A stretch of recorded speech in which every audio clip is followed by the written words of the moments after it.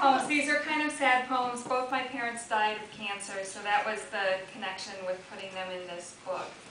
They're both called Gravity, and you can probably hear the echoes. I thought I was writing poems about stars dying, but then they became something else. Gravity. A time comes when gravity is going to win.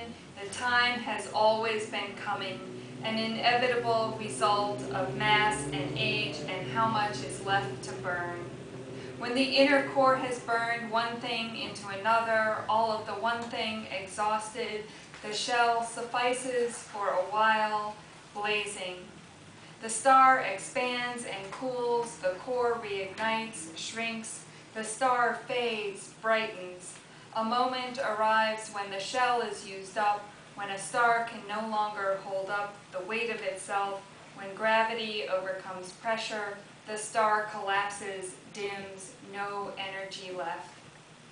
What's left is heavy, like tons in a teaspoon that, if dropped on Earth from a few feet, would travel thousands of miles an hour. So um, a star, when it dies, collapses, it, it becomes so heavy that if I held it here, it, it would drop and you couldn't even see it, it'd be traveling so fast. Mm-hmm. Here's the second poem called Gravity.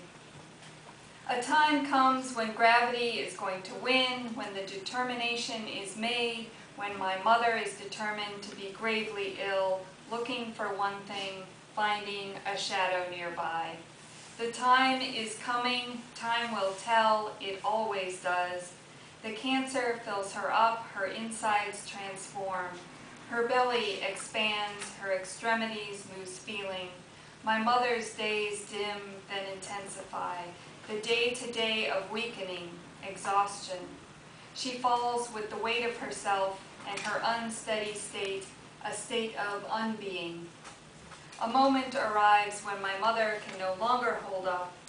When gravity overcomes pressure, the lungs can't draw another breath.